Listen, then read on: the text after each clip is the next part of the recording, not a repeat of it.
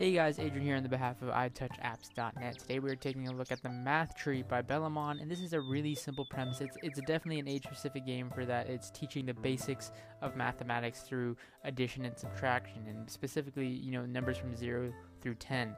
Uh, so it uses a really basic uh, interface method to represent addition and subtraction. So in this case, the equation is 3 plus 2. So I need to add two birds to their existing tree in this case to equal, and it's going to ask me what it equals here. 3 plus 2 equals.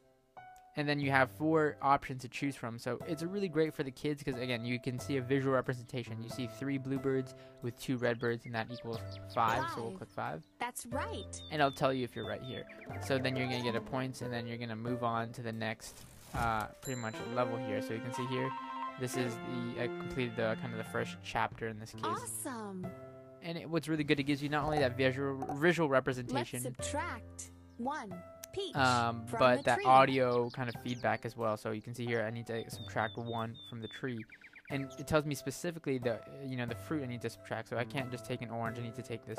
Looks like a peach here, and I'll just hit. I'll just take it and drag it down. minus 1 equals. And then if I get it wrong here, so let's say the correct number is seven, but let's say I say three, 3 for example. Three is too few.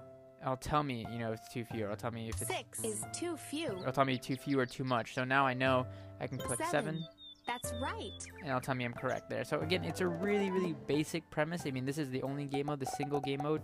Let's But subtract. It really is child friendly. I mean, it, oranges from the it's super simple. It uses the colors, uses the fruits, uh, uses that really visual and audio representation. If you have a kid who's learning, you know, in primary school or base, you know, elementary school and is going through that addition, subtraction, counting from zero to ten, this is definitely one of the best hands-on apps to help them learn and teach while giving them a fun inter- uh, interface to experience. Again, huge pros. It's just really simple design and really geared towards kids uh, specifically.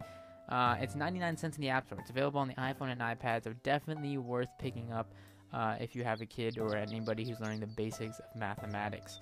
Um, it's again, it's it's specific to those uh, categories, but definitely best at what it does. A really great mathematical educational app out there. So do check it out, the Math Tree in the App Store.